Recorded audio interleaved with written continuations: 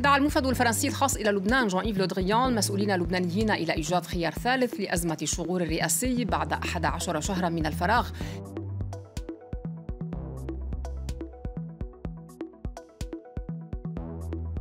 سليمان فرنجية رئيسا للجمهورية مقابل نواف سلام رئيسا للحكومة.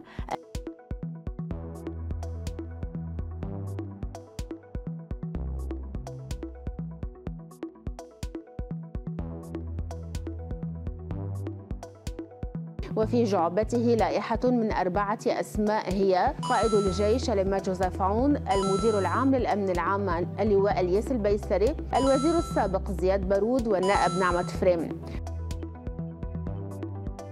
أعطيناهم فرصة العمر وما تجاوبوا حدا يقول لي أي رئيس جمهورية وصل بلا حوار.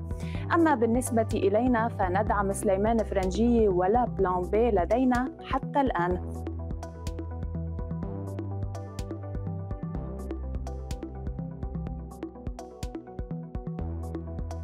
إنه بتسحبوا هذا المرشح بتشيلوه من التداول بتشيلوه من الحسابات بنحكي.